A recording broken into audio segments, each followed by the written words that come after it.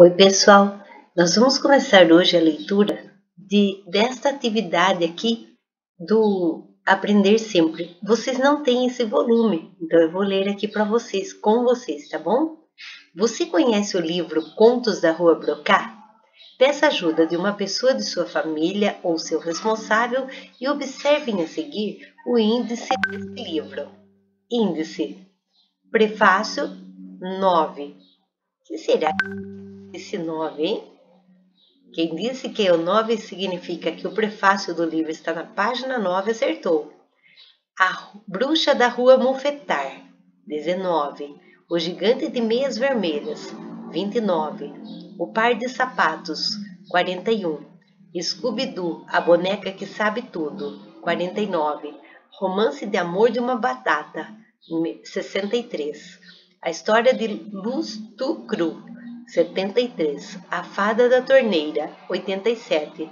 O Diabinho Bom, 103. A Bruxa do Armário de Limpeza, 123.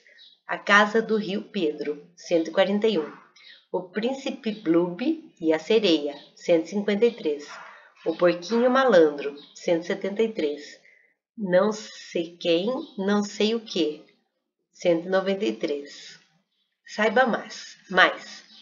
O autor do livro é Pierre Grippari, um escritor francês que diz ter produzido todos esses contos baseados nas histórias que ele e as crianças da rua Brocá construíram após ouvir histórias que surgiram a partir dos moradores da rua Brocá.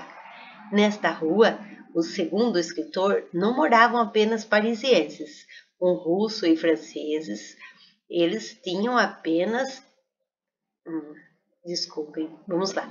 Nesta rua, segundo o escritor, não moravam apenas parisienses, um russo e franceses. Eles tinham em comum uma característica: adoravam histórias.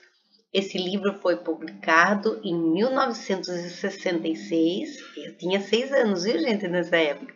Observe o último parágrafo do escritor após escrever várias informações sobre a Rua Brocard. Também não tenho mais nada a dizer, a não ser que desejo uma boa leitura para meus amiguinhos da Rua Brocá, de outros lugares e do mundo todo, 1966.